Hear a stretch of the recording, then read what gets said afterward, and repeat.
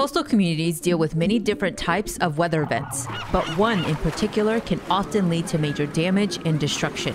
Today, we're looking at storm surge what it is, how it happens, and why it's so dangerous. Let's look a little closer at those coastal communities. Most often, the greatest threat to life and property is a hurricane, or in some cases, a major hurricane. That's category 3 or above. When these massive heat engines approach land, a rise in water above normal tides can occur.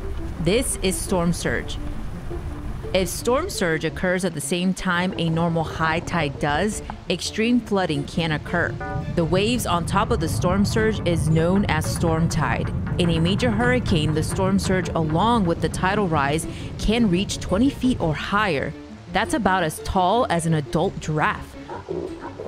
When water is pushed towards the shoreline by winds rotating around a storm, storm surge is produced.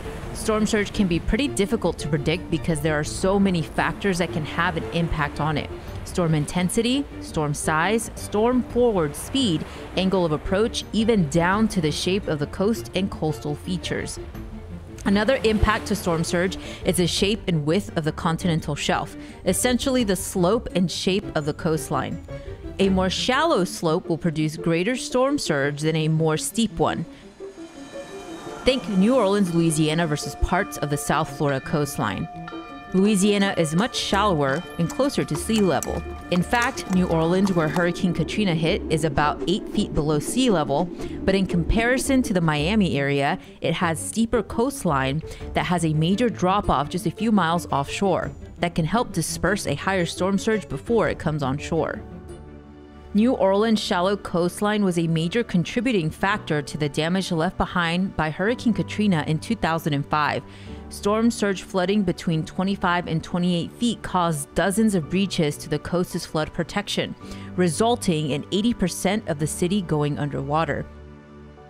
This would end up being the costliest natural disaster in U.S. history at $125 billion, tied with Hurricane Harvey in 2017.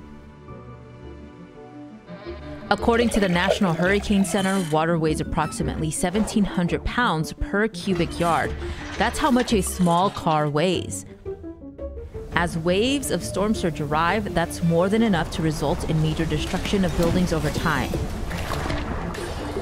Water tends to bend objects and stack them up like piles of toys, whereas wind damage breaks objects like a tornado.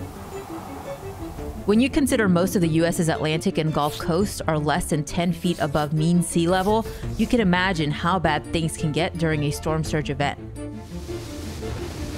Per the NHC, a 23 foot storm surge from a major Category 4 or 5 hurricane would cover 67% of interstates, 57% of side roads, almost half of area rail lines, 29 airports, and nearly every single port along the Gulf Coast. Being prepared is one of the best ways to keep you ahead of the storm. Make sure you know when a storm surge is threatening where you live by turning on the warnings and watches in the My Radar app. Go to the layers menu, it looks like a stack of cards, and toggle it on to stay in the know and stay safe during hurricane season.